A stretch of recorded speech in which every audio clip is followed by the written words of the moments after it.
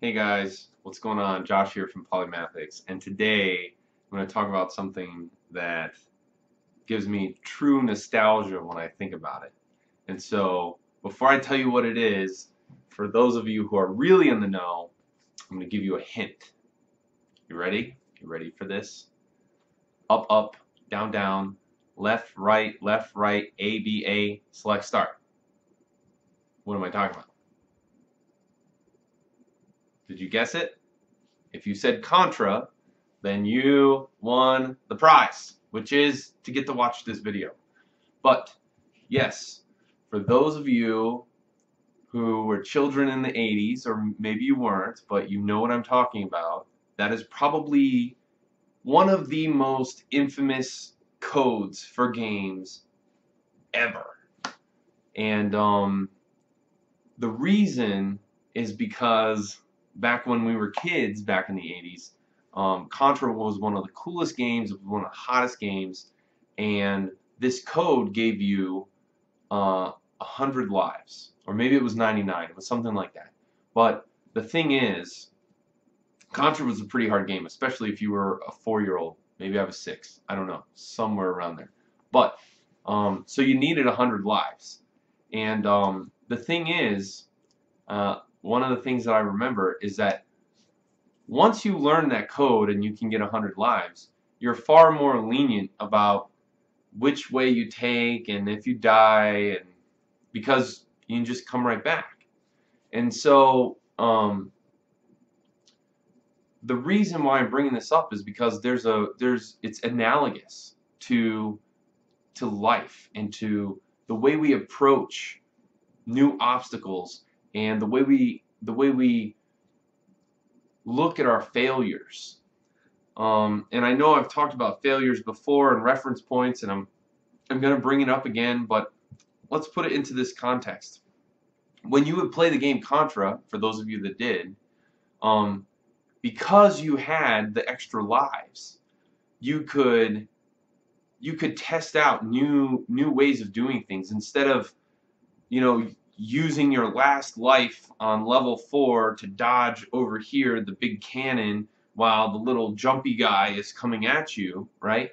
You could try it one way, and if you died, you could try it another way until you found, I remember, I think it was the first level boss, one of the most memorable bosses in all video game history. And, you know, it's like shooting these little spray things, but there was this one spot that if you stood right there and you kept shooting as fast as you could on the thing, there the spray guys wouldn't get you. And anyways, the point is you only learn that by approaching a problem multiple times and and and sometimes dying or in this case sometimes failing or falling or losing your footing but the thing is, is that the only time that you really lose, the only time that you truly fail, is if you give up. If you're halfway into the game and you still have 50 more lives and you die one time or two times at the same place and you say, that's it, F it, I don't want to play anymore, done. Then you failed. Then you gave up and the game wasn't worth playing anyways. But for those of you who persevere and keep trying, not just with the game, but with life and whatever project, goal, outcome, relationship that you're aiming for. You're those are the people who succeed. And so um, so for the example that I love to use when it comes to failure is Thomas Edison and his invention of the light bulb. Now, many of you guys have probably heard me talk about it before. Many of you guys have probably heard the story before. But guess what? I'm going to tell it again because repetition is great. Thomas Edison was interviewed once, and, and the journalist asked him, What was it like to fail 10,000 times before you found the right way to, to make a light bulb? And his reply was brilliant and also gives us a glimpse into the polymathic mindset. And that is, so he told the reporter, he said, hey, no, no, no, no. I found 10,000 ways not to make the light bulb. And there's a difference there. And that tiny nuance in the way he looked at the problem, in the way he received his failures, is completely different.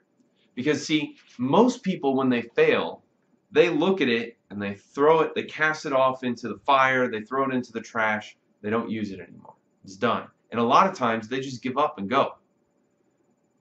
The polymath mindset, those people who succeed, those people who can see beyond a small setback, they take that and they put it over here as a reference point. And they build those reference points up around and around into this giant pyramid until they reach the level that they've been attempting to get to. And eventually, once you've built all those bricks up, all those reference points up, now you have that that that monolithic masterpiece that will stand the test of time. And let me tell you why. Look at it from the other angle. Look at how many people in so many different fields find success early on and sometimes um, like a like a child movie star or someone who's very good at sports when they're young and they they get a lot of fame or popularity from it. And then as the years go by they just they don't last the test of time because they didn't fail enough when they were younger. They didn't learn enough reference points to make it something that they could repeat. And that is why you should always embrace failure. Because like Thomas Edison said he found 10,000 ways not to create the light bulb he found 10,000 ways that he knew that he would never have to try again so that he could find the one way, the repeatable way, the only way, well, probably not the only way, but the only way at the time, to repeat it constantly over and over again. So, for example, when you look at um, like rap singers who are one-hit wonders, it's because they lucked out and they got that one song that resonated with everybody. But because they didn't have um, multiple failures before that, they don't know how to replicate it. And the same thing goes for the, a perfect example is people who win the lottery. Far too often we see these lotto winners become multimillionaires and within a few years they're dead broke again because they didn't go through the steps that a millionaire normally goes through to learn how to manage their money, how to make their money, how to spend their money. And because they do, they didn't, they they fall into all of the common pitfalls and traps and and before you know it, you know, it's all gone. They've wasted it all away, all those opportunities. And so my my humble recommendation to those of you who have followed me this far is to think about what is it in your life that you can use the Contra cheat code for and give yourself some extra tries so that you can go at it again and go at it stronger. Um, what is it that you feel so um, passionate about and something that you can something that you can um, give back you know what where is it that you could look at in your life that maybe you've you've wanted to do it, right? You wanted to be a writer, you wanted to be an actor, or you wanted to be a musician, and you gave up because you know you you you found obstacles and challenges right away, or maybe you failed the first few times. Um, another an, another really good example of this is like the Harvard graduate who comes out of this great college, tries for one or two jobs that they, you know, have had their mind on, and when those companies, you know, say, hey, we're not accepting candidates at this time, or you don't fit um, quite into our culture, or whatever it might be, they're devastated. For one, they're devastated, and for two, they end up working at like McDonald's or Target, and it's like, how did that happen? Here's this highly educated person. And it has nothing to do with what they know. It has everything to do with their resolve and everything to do with finding, with embracing failure, right?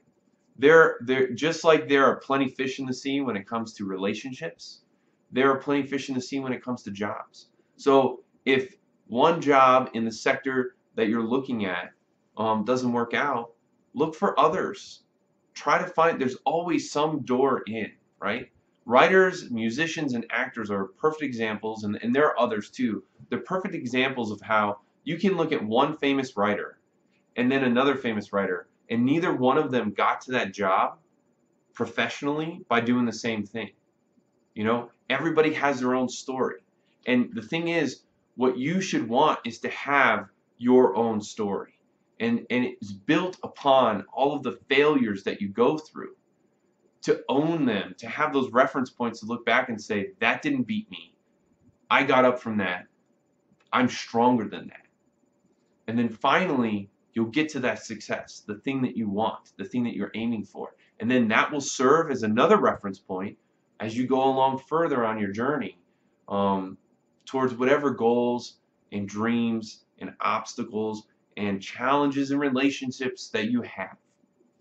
So, um, I hope this has been helpful.